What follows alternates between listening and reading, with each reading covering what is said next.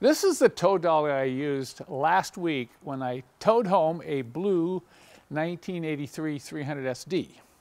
Most of you know what these are and you know what they do.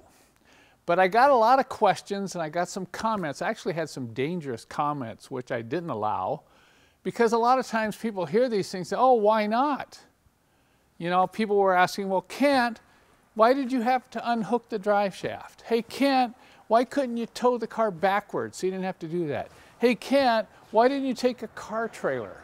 One guy thought I was kind of an idiot because I couldn't figure out how to just put the car on backwards and I wouldn't have to worry about the drive shaft.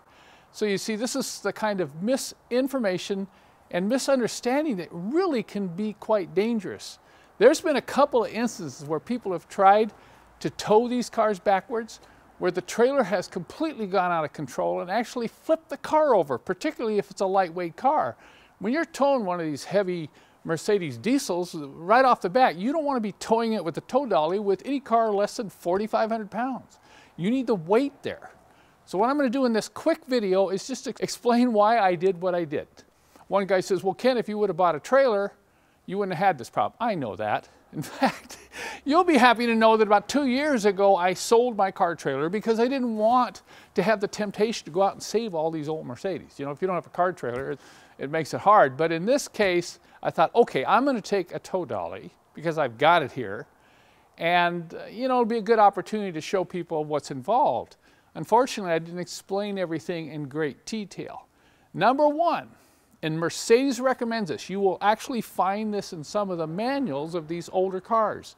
You are not supposed to tow a Mercedes-Benz with an automatic transmission for any great distance at any high speed or you will ruin the transmission because it's not getting proper lubrication. So Mercedes in a number of their publications will tell you, okay, you can drive it so many miles, under 45, 40 miles an hour, and you'll be okay.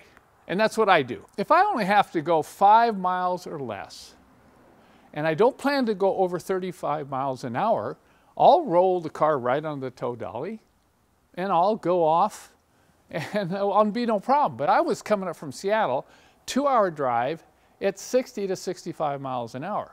And that can destroy a transmission. That's number one.